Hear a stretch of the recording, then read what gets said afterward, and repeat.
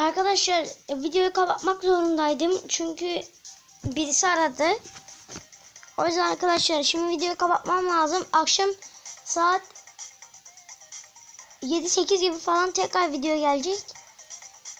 8 7-8 gibi burada olun.